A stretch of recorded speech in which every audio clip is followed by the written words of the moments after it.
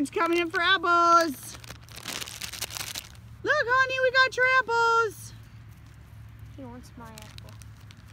Wants. The Etna Road apples. These are from the kids at Etna Road, huh? He has dirt all over his eye. Go ahead. You gonna take it, Edward? I Good don't boy. want to Get off do the it. face. You can't close up. Yeah. You'll You, I need to watch him good boy, Edward. Here you go, Maddie. You can open He's that one. He's worried that this might be electric. I know he is. We did Not that before.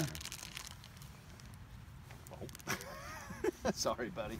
There it is, right down there. Did you get scared? Good boy. The Took it off. I tried to grab it, and I thought, no, I better not try to grab it. Here, Edward. Edward, right here, honey. Gotta be flat, Mom. It is flat. There. Get down low. He's easier. I can't. I'm trying to videotape too. Yeah, you can't do that. Here, Edward. Edward.